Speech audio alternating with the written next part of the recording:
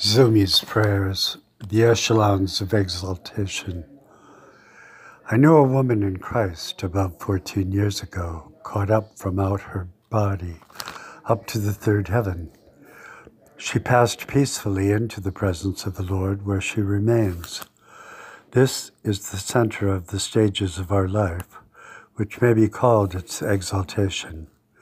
Clearly, we are called to glory, though it is perhaps the most difficult grace given from you to grasp, knowing our unworthiness and limitations. Yet this you have decreed, and nothing of any limitation lies beyond you. We have not understood the immensity of your loving bestowals. It may be useful for men to trace the echelons through which our lives pass. Though not born to Eden, the world given us is of magnificent beauty. The heathenist soul gasps upon the sunset shore and upon the moonlit mountain top. The animals entertain us, while the flowers and insects tickle us. The birds serenade, the fish evade. Children seek out adventure in their games, moving on to real explanations, explorations of the earth, sea, and sky. In all these ways you instruct us of your gifts and goodness to us. As these dwindle to common acceptance, we enter the stage of the formal knowledge of you, left to us in Revelation. Wise parents instruct their children from an early age and must be careful to live out the scriptures, else hypocrisy betray the beauty of the life bestowed you bestow to us. The revelation left to us is infinite, and the wisdom derived from it further so. The consoling spirit accompanies our journey through this beautiful, revealing entry to your presence. Along the way are many heresies, broad ways of danger. Constant prayer is the necessary safeguard. We will find ourselves in limited company, though the church company is a precious flock. If we are called to be among the children of God, it was determined by you before the foundation of the world.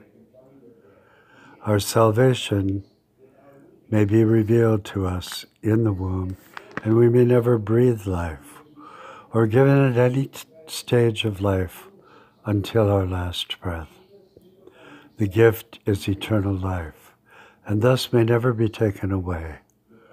We are rescued from your just wrath over our sin and from hell, its penalty.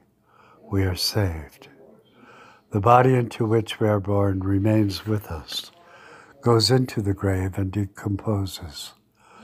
A new resurrected body is given us at Judgment Day.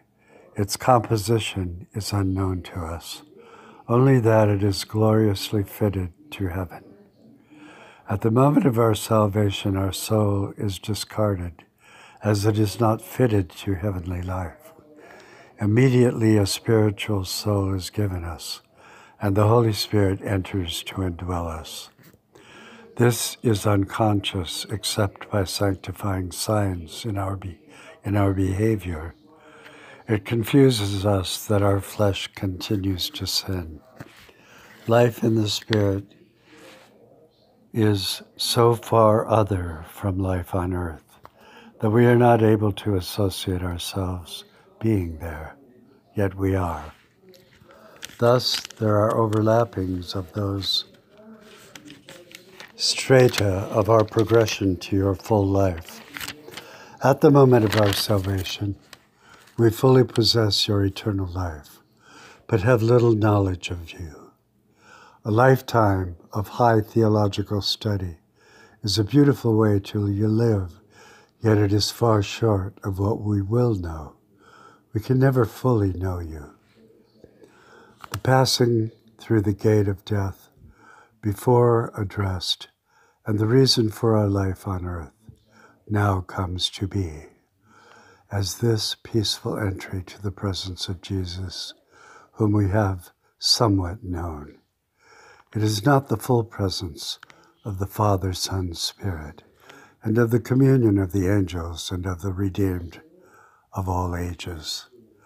Judgment Day will affect our transition to this life. The elements of time are not notable, though billions of people and thousands of years of moments, events, emotions, ideas, and intents come to your scrutiny as they were in history and in eternity, but are now played out before all men and face to face with the Lord who lived among us. It is an awesome moment. We pray to be greatly loved in this moment, and surely we will wondrously adore you, however the sands of time do judge our every moment here. Every knee shall bow. Amen.